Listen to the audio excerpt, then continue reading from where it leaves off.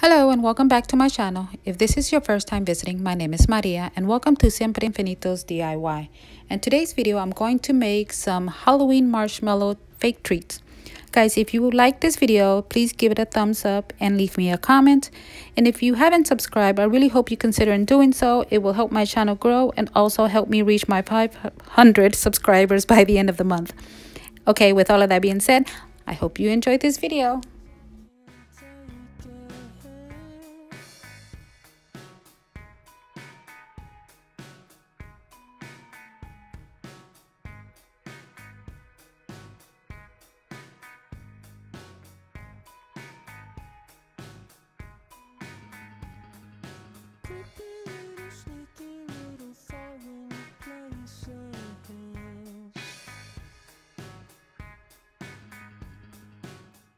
Oh, I'm going to be using foam clay instead of air clay. I did notice after I let it sit in the freezer over 30 minutes, I felt the clay sticky when I was struggling to pull it out from the mold.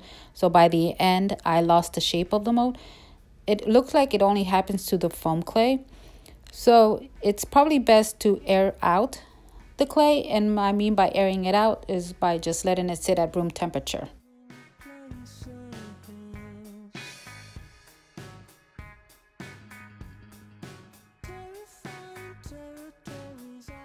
These treats were really easy to make. Like I stated earlier, I used foam clay rather than air clay because I wanted my treats to have a fuller look without using so much clay.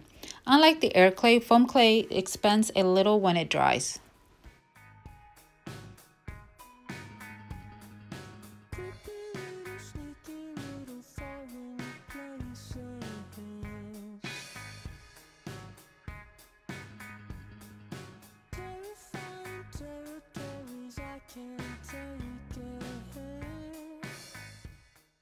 If you don't have one of these thread picks, that is fine. I had previously made some of these tombstones and they were completely dry and I needed something harder to poke a hole in there uh, because when I tried to use my skewer stick, uh, it kept breaking. Okay, so now that I added the skull, now I'm going to be adding my marshmallows. I did realize that I had to first let them dry about for five minutes uh, just so when I was uh, pushing it up into the stick um, I did not lose the shape of the marshmallow. As you can see here I began to turn it instead of pushing it because I realized that that way I will not lose its shape.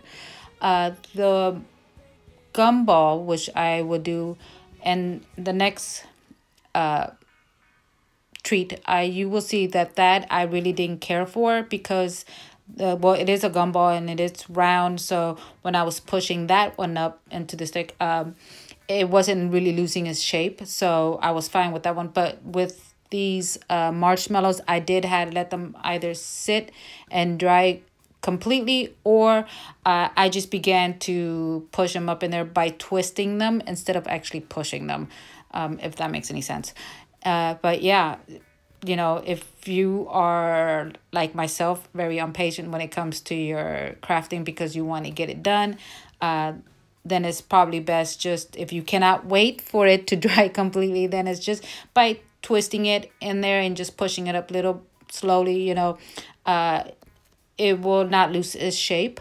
Uh, it will leave some clay behind, but that's fine because you can just scrape that off. It was really easy to come off. Um, as you can see, also I was pushing it into, which it really didn't matter because since all three marshmallows were touching each other, it didn't. You couldn't really notice. Only the one at the bottom, um, that one you will need to unless you're putting something else up in there, uh, which I did not. Uh, that one you do need to clean it up a bit. But other than that, so you can see these uh, Halloween treats were very easy to make.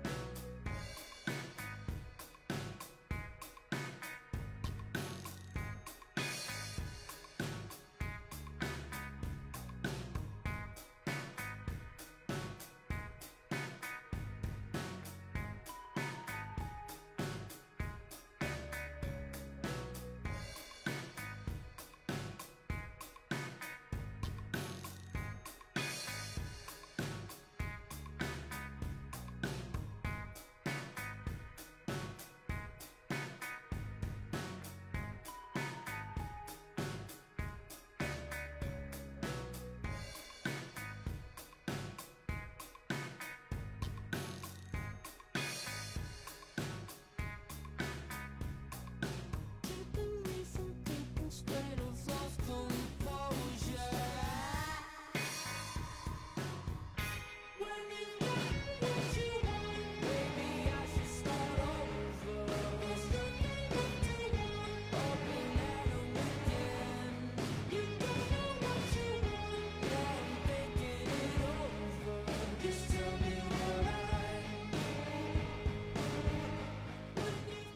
Here's a closer look of the word that I spelled out, eek. Um, and if you don't want to use clay to make your words, you could also use uh, fabric paint.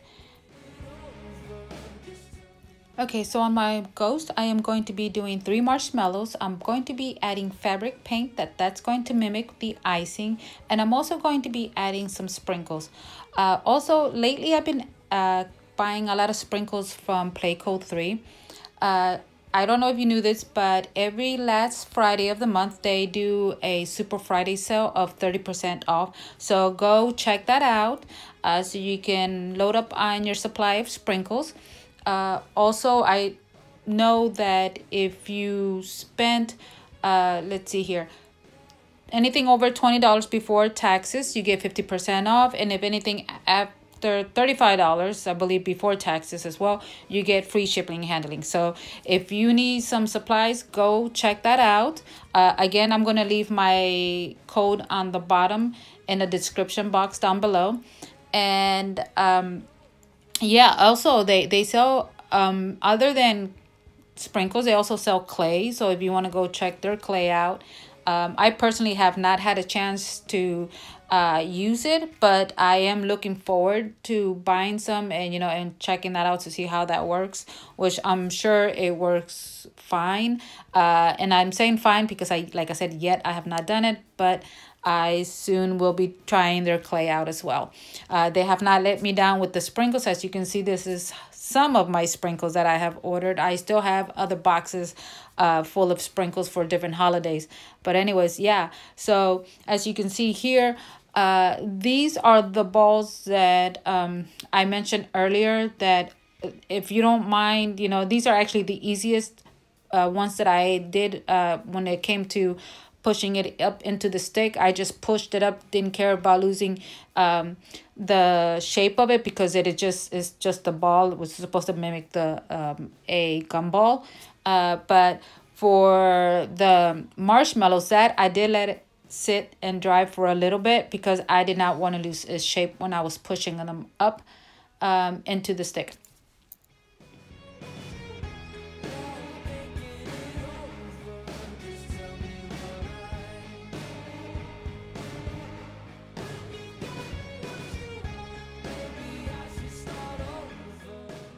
So now that the treats are done, now I'm going to choose the bag. Now, I loved this uh, candy corn bag, but because it had so many shapes in there, uh, you really couldn't see the treat. So what I did, I chose to keep a clear bag and just uh, tied up a, a cute little bow on there. And then that was it. I was done, you know. Um, and like I said, easy and simple you know not really much to it and they look so adorable if you do not want to add the ribbon there um i found these stencils at the dollar tree uh, also, I noticed that, and I also, as you can see, uh, Hobby Lobby had like a sale on a lot of the ribbons.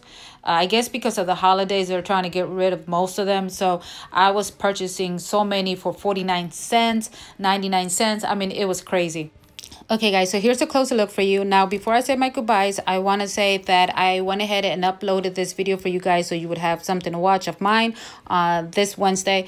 Uh, but also that I would not know when I am going to be able to upload another video because I do live in the west side of Florida and I have no idea what's going to happen. So guys, uh, please send a prayer my way and to everybody that lives in Florida, also to everyone that lives in Cuba, uh, Puerto Rico, and Canada.